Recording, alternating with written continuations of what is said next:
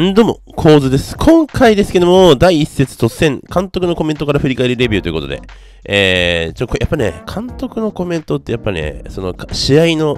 うん、まあ、内容、まあ、どういうふうにその指揮官から見えてるかっていうところが、まあ、ギュギュギュギュッと詰まってるわけですから、まあ、ちょっとそこを読みながら、あこうなんじゃないかっていうような考察も交えながら、ちょっと話をしていきたいなと思いますので、ぜひ最後までご覧ください。えー、突然のスタメンは、あご覧のような形。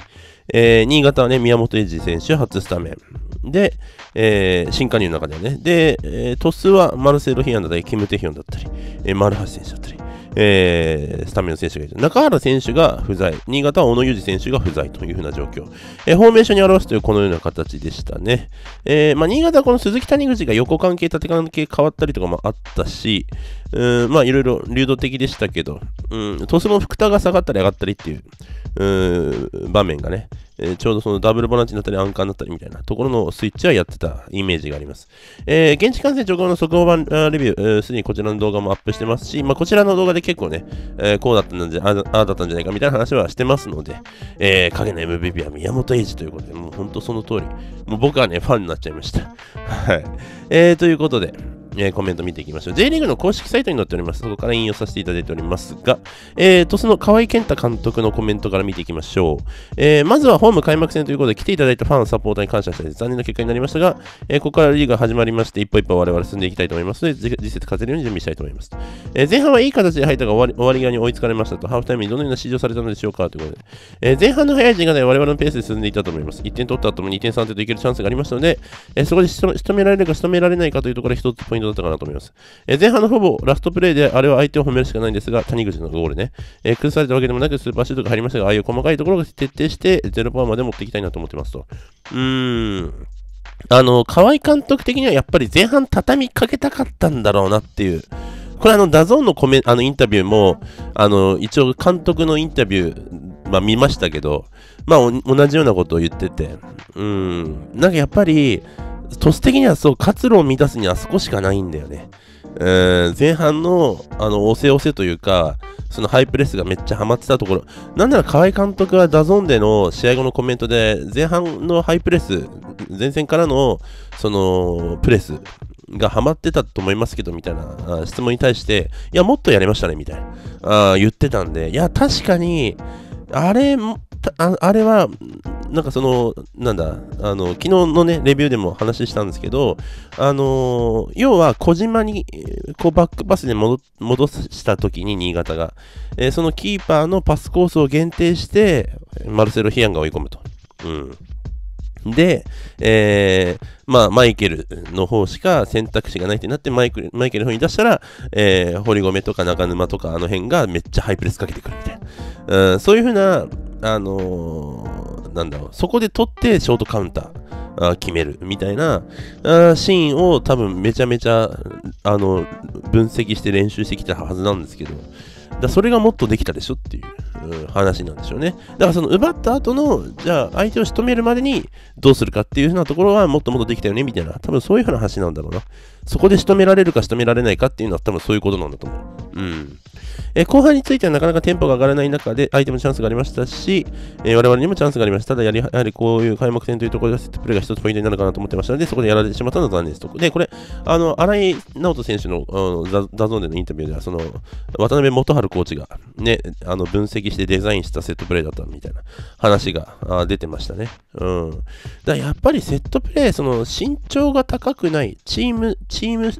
のその平均身長が決してその J リーグの中でむしろ低い方なアルビレックス新潟がセットプレーでどうやって点取るかってやっぱああいうコンビネーションプレーというか、まあ、そらそらして、えー、空いたあのフリーになったところを決めるみたいなのは結構マジで、えー、重要になってくるだろうなと思いますし、まあこういう風なのを新潟がやってくるんだっていうのを印象づけたことでじゃあ次どうやってくるんだろう。うん、ここを潰さなきゃいけない、ここを潰さなきゃいけない、マンツーでついた方がいいのか、ゾーンでついた方がいいのかっていうふうに、こう、揺さぶって揺さぶって、じゃあそういった時はこうだよね、みたいな、その、試合中の状況判断みたいな話も昨日ね、コメントで、まあ、来選手だったり、松橋監督のコメントだったり、あの、鈴木選手とかね、えー、松田選手のコメントとかでもありましたが、うん、やっぱね、そういうのを、やっぱ判断の質、なんかそう言葉にするとすごく簡単そうに聞こえるけど、それが難しいんですよね、多分。うん、で、なんかピッチが乾いてて、なんかボールが走らなかったみたいなコメントを選手が言っていて、ただね、現地で見てるとちゃんとスプリンクラー撒いてたんですよ、試合前。なんならそのしぶきがね、僕はあのメインスタンドの前の方に座ってたんですけど、普通にそのしぶきが、スプリンクラーのしぶきが僕にちょっと当たるぐらい、だからそれぐらい風が強かったんですよね。だから風が強すぎて多分乾いちゃったんじゃないかなっていう思います。あんだけ巻いてて滑らない、ボールが走らないピッチだって選手が言ってるってことは、うん、だだって鳥栖だってさ、ボール握りたいチームなんだからさ、その町田とか鹿島とか名古屋とかさ、アビスパとかと違うわけよ。あのブラウブリッツ秋田とかさ、ああいうチームと違うじゃない。そのパテポンサッカーじゃないじゃない。ちゃんちゃんとボールつなごうっていうチーム同士の対決だから別に両チームにとってピッチが乾いてること得じゃないんですよ。だから新潟にとって不利だからやろうねじゃなくて鳥栖にとってもそれ不利になるから単純にあれ風風がねめちゃめちゃ強かった。めちゃめちゃ寒かった体感、うん、だからそれがあって乾いちゃったんじゃないかなっていう説がある。うん、ピッチ状況云々の問題に関しては。うんえー、前半と後半で主導権が変わった印象ですが、後半に盛り返すために何が必要だったのでしょうか？ぶつ切りにしないことですね。1試合通して我々のテンポでゲームを進めようとするのは大切なところで、ある時間だけ良くてある時間は悪い。ただそれを自分たちがやろうとした中で悪くなるのは全く問題ないんですが、ちょっと今日相手の顔色を伺いすぎたかなというところがあります。はあ、あ、なるほどね。いやでも、新潟的には、鳥栖のあのハイプレスは90分通して続かねえぞっていう認識はあったみたいですね。まあ実際その通り後半の方がプレスが緩くなりましたよね。体力落ちて。うん、川原だけだったよ。やっぱりずっと90分通してタフだったのは。うん、で、選手交代しても、トスの方はそのギアっていうのがなかなか上がらなかったですね。うん、やっぱそのマルセロ批判がね、結構良かったんですよ、前半。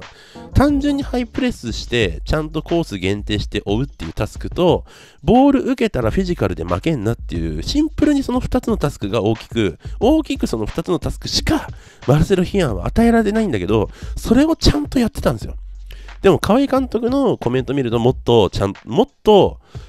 やれっていうことなんだろうけどね。だからまだまだ満足してない感じだと思うんですけど、それでも多分一定程度多分手応えは感じたんじゃないかなっていう、まあ、前半でしたけど、まあ、ぶつ切りにしないっていうのは、まあこれ、そういうことだよね。その、例えば選手交代も含めて1試合通して、えー、そういうふうにしなきゃっていう振り返りなんでしょうね、多分ね。えー、新海選手もたくさん出場しましたが、彼の動きに関しては、えー、どうご覧になったのでしょうか。新海選手についてはまだまだパフォーマンスが上がると思います。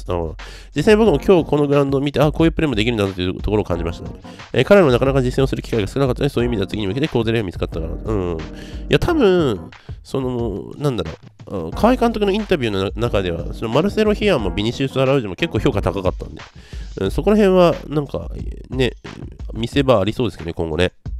はい。そして、えー、我が軍、RB レックス新潟、松橋力道監督のコメントを見てみましょう。えー、まず、突の時に多くの新潟ファンの方が足を運んでくださって、その足を受けて、しっかり勝ちさんを届けることができたのは嬉しく思っています。えー、試合の内容については前半少し停滞するようなところもありながら、少しずついい方向に持っていくことができたと。え、ただ、やりきれない中、あ谷口監督のゴールが我々の何かを全て動かしたかなと思います。うんえ、その上で後半は非常にいい戦いができたと思っていますし、終盤押し込まれる状態でしたけど、全員がハードワークして相手にゴールネットをやらすことは許さず、えー、勝ちさんを取れたことは非常に良かったと思います。えー、後半に向けて修正したポイントは、中央を意識するあまりにボールを循環させることで少し停滞してしまったと。えー、もちろんそこには相手の出方を見て判断しようとしているセンターバックの意図もあったと。あギリギリのところで判断することが多くなることで、もう少しシンプルに循環させてもよかったのかなと。えー、最終的に相手のプレスを回避する方法は前半の途中指示を出して、そこからリズムはできたと思います。あなるほどね。なんか、こう、サイド、サイド、横、使えみたいな指示は確かにベンチからしてた感じがある。松橋さん、なんか。あのー、洗いとかに指示してた気がするな。そう。こう、なんかこう、腕ぐるんぐる回して、なんかこう、滑るようなジェスチャーしてたから、多分そういうことなんだと思う。で、実際、その、44ブロックが結構コンパクトで、こう密集してて、その中心点に川原あの川原選手がいると。それ昨日のレビューでも触れたんですけど、やっぱそうなると、その川原から離れたところを揺さぶって、川原のポジションをずらす。そうすると、鳥栖の44ブロックは崩れる。だから多分そういうふうなあ指示、そういうふうな意図があってそういう指示をしたのかなっていうふうに、まあ個人的には見てますけど、まあそれと別で、これは今後の新潟対策を、まあ、他クラブがしてくる中で思ったことは、やっぱ昨日のサイドハーフは小見選手と松田選手だったじゃないですか。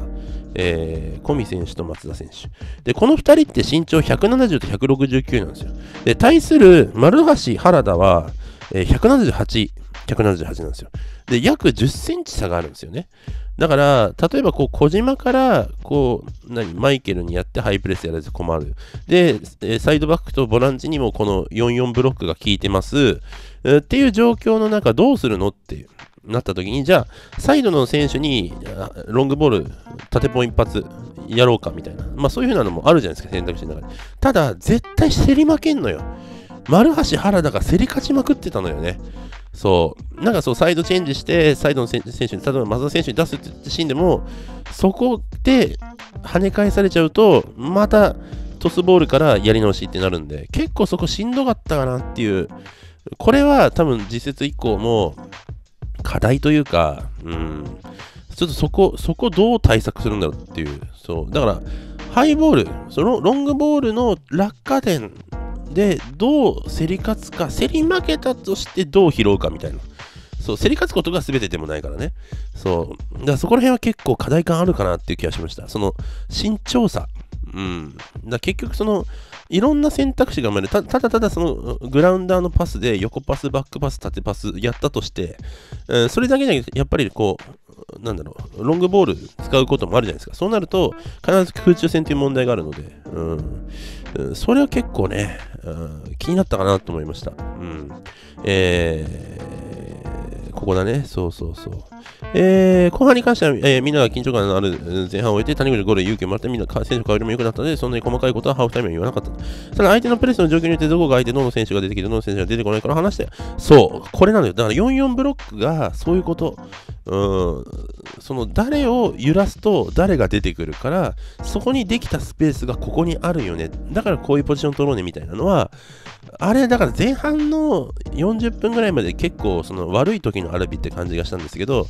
あれはその、その中央、正橋監督の言葉で言うと、その中央に意識しすぎてたから、そうなってしまったのかもしれないし、やっぱそこら辺は相手のプレスの速さも強度も高かったから、判断する時間が短くて、えー、なかなかそこの精度が上がらない、プレーの質が上がらないっていうところもあったのかなというんです、ような気もするので、まあ、それは、やっぱてっぺん取る上では課題なのかなというふうに思いました。えー、そんなところですね。はい、えー、選手がうまいこと対応してくれました。これで、コメント終了です。はい、いかがだったでしょうか？ぜひぜひ、えー、チャンネル登録、高評価、そしてコメントお待ちしております。ご視聴ありがとうございました。